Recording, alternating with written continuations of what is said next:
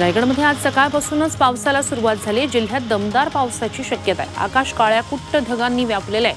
हवामान विभागानं orange alert जारी केला आहे जिल्हा प्रशासनानं सतर्कतेचाही इशारा दिलाय.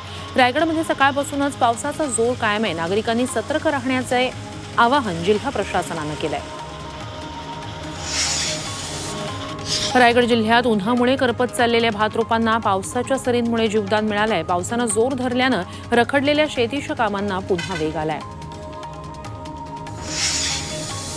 रायगड जिल्ह्यात तुफान पाऊस झाला आणि त्याचा फटका माणगाव एसटी स्टँड मधील प्रवासी आणि नागरिकांना बसला. जोरदार पावसामुळे माणगाव एसटी स्थानकाला तलावाचं स्वरूप आलं.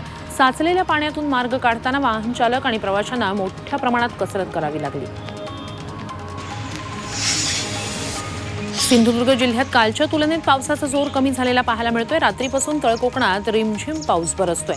पावसाच्या आगमनानं शेतकरी मात्र सुखावलाय. दुबार पेरणीचं संकटही टळलंय. तळकोकणात आता लावणीपूर्व कामांची लगबग सुरू झाली आहे रत्नागिरी कोल्हापूर मार्गावर घाटात दरड कोसळले. प्रसिद्ध गायमुख गणपती मंदिरावर ही दरड कोसळले. यात सुदैवानं कुणालाही दुखापत झाली नाहीये. मात्र मंदिराचं मोठं नुकसान झालंय. बीड जिल्ह्यात आज पावसानं दमदार हजेरी लावली आहे. केस तालुक्यातील बनसारोळा आणि आजूबाजूच्या परिसरात पाऊस झालाय. अचानक आलेल्या पावसामुळे जनावरांच्या चाऱ्याचं मोठं नुकसान झालेलं आहे. ओढे नाले भरून वाहू लागलेत. पहिल्याच पावसामुळे सोलापूर शहरातील सत्तर फूट रोड परिसरात अनेकांच्या घरात पाणी शिरलं. अक्षरशः गुडघ्यापर्यंत पाणी घरात शिरल्यानं रहिवाशांचे हाल झाले. शहरातील मुख्य बाजारपेठ असलेल्या गणेश शॉपिंग सेंटरजवळ अनेक दुचाकी वाहनं पाण्याखाली गेली. वाशिम जिल्ह्यातील काही भागात मान्सूनच्या पावसानं जोरदार हजेरी लावली आहे. त्यामुळे आभाळाकडे डोळे लावून बसलेल्या शेतकऱ्यांना मोठा दिलासा मिळालाय. मात्र पेरणी योग्य पाऊस पडल्याशिवाय शेतकऱ्यांनी पेरणी करू नये असं आवाहन कृषी विभागानं केलं आहे अहमदनगरच्या पारनेर तालुक्यातील देवी भोयरे वडझिरे या भागात जोरदार पाऊस झालाय. पहिल्याच पावसात शेतात पाणी साचून दोन्ही गावांच्या परिसरातील ओढे नाले भरून वाहू लागले. नगर आणि पुणे जिल्हा सीमेवरच्या या भागांमध्ये जोरदार पाऊस झालाय. मुंबईच्या ईस्टर्न एक्सप्रेस हायवेवर काल रात्रीपासूनच पाऊस पडतोय. त्यामुळे मुंबईचे रस्ते ओले चिंब झाले आहेत शहरात पावसाच्या आनंद सरी बरसत आहेत त्यामुळे मुंबईकर पुरते सुखावलेत. जून महिना संपायला आलाय तरीही धुळे जिल्ह्यात पावसाची चिन्ह दिसत नाहीये. शेतकऱ्यांनी शेतीची मशागत करून ठेवली आहे खरीप हंगाम सुरू होऊन महिना उलटलाय तरीही पाऊस झालेला नाहीये. पाऊस लांबल्यानं शेतकरी चिंतातूर आहेत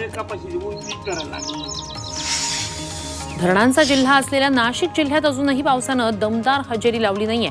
त्यामुळे जिल्ह्यातील चोवीस धरणांपैकी तीन धरणांमध्ये शून्य टक्के पाणीसाठा झालाय. सर्व धरणांमध्ये मिळून केवळ बावीस टक्के पाणीसाठा शिल्लक राहिलाय. यातील तेरा धरणं पंधरा टक्क्यांच्या खाली आली आहेत त्यामुळे पिण्याच्या पाण्याचं संकट निर्माण झालंय.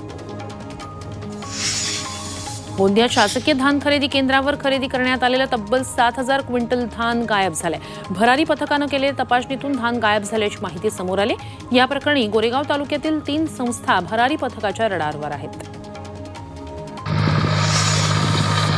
वाशिम जिल्ह्यात शेतकऱ्यांनी पेरणीला सुरुवात केली आहे. आर्द्रा नक्षत्र सुरू झालेलं आहे. त्यात पावसानंही हजेरी लावलेली आहे. कारंजा मंगरुळपीर आणि मालेगाव तालुक्यातील काही भागातील शेतकरी कापूस लागवड करतायत.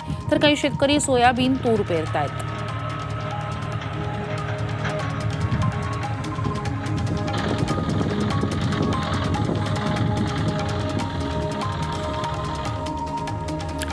मे महिन्याच्या अखेरीस राज्यातील आंबा संपून परराज्यातील पावसाळी हंगामातील आंब्यांची आवक सुरू झालेली आहे.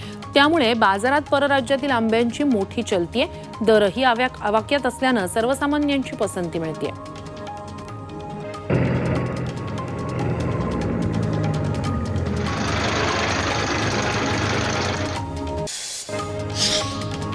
कर्नाटकचे मुख्यमंत्री सिद्धरामय्या आज बारामती दौऱ्यावर आहेत. पुण्यश्लोक अहिल्यादेवी होळकर यांच्या जयंती सोहळ्यानिमित्तानं सिद्धरामय्या आज बारामतीत येत आहेत. बारामतीतल्या शारदा प्रांगणात अहिल्यादेवी होळकरांचा जयंती सोहळा होणार आहे. काँग्रेसात आज सांगलीत महानिर्धार मेळावा होणारे कर्नाटकचे मुख्यमंत्री सिद्धरामय्या यांचा आज भव्य सत्कार सोहळा आज सांगलीत होतोय. मुख्यमंत्रीपदी निवड झाल्यानंतर महाराष्ट्रात हा पहिलाच सत्कार सोहळा होतोय.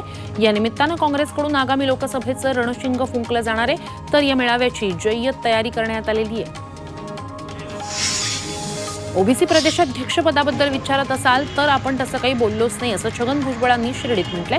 प्रदेशाध्यक्षपदाचा विषय राष्ट्रवादीचे राष्ट्रीय अध्यक्ष शरद पवार यांच्या कानावर गेलाय. अजित पवार आणि आपल्या हातात काहीच नाहीये हा विषय आमच्यासाठी संपलाय असंही भुजबळ म्हणाले. आगामी मंत्रिमंडळ विस्तारात आपली वर्णी लागणार असा जाहीर दावा आमदार संतोष बांगर यांनी केला आपल्याला मुख्यमंत्री आणि उपमुख्यमंत्र्यांनीच ही माहिती दिल्याचं त्यांनी सांगितलंय. हिंगोलीत शिंदे गटाच्या कार्यकर्त्यांच्या बैठकीत भाषणावेळी त्यांनी हा उल्लेख केला चंद्रपूरचे मनसेनेते रमेश राजूरकर भाजपच्या वाटेवर आहेत. उपमुख्यमंत्री देवेंद्र फडणवीस आणि प्रदेशाध्यक्ष चंद्रशेखर बावनकुळे यांच्या उपस्थितीत आज राजूरकर भाजपात प्रवेश करणार आहेत. दोन हजार एकोणीसमध्ये मनसेच्या तिकिटावर त्यांनी विधानसभेची निवडणूक लढवली होती. नॅसडॅक लिस्टेड रिन्यू कंपनी नागपुरात अठरा हजार कोटींची गुंतवणूक करणार आहे अशी माहिती उपमुख्यमंत्री देवेंद्र फडणवीस यांनी दिली आहे. ही कंपनी सौर ऊर्जा क्षेत्रात काम करते. त्यामुळे आठ हजार जणांना थेट लाभ होणार आहे रोजगारांची संधी उपलब्ध होणार. आहे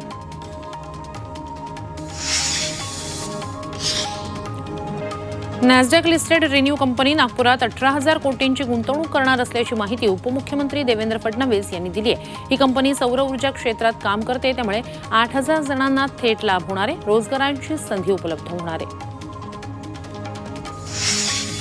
पुण्यातील अहमदनगर मार्गावरील बीआरटी मार्ग हटवण्याला सुरुवात झाली. वाहतूक कोंडी कमी करण्यासाठी गुंजन टॉकीज चौक ते हयात हॉटेलपर्यंत हा मार्ग मोकळा केला जातोय.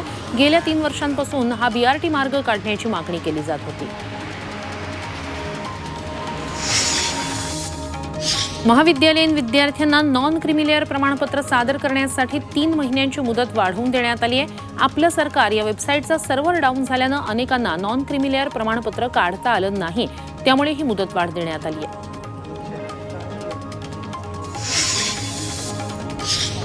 जुन्या ई चलान मशीनमध्ये त्रुटी असल्यानं वाहतूक पोलिसांना नवी अत्याधुनिक मशीन देण्यात आली आहे. ठाणे शहरात चारशे मशीनचं वाटप झालंय.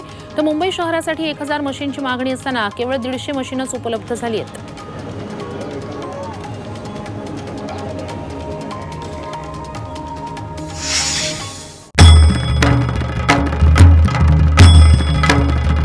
भंडाऱ्याची उधळण. म्हणजे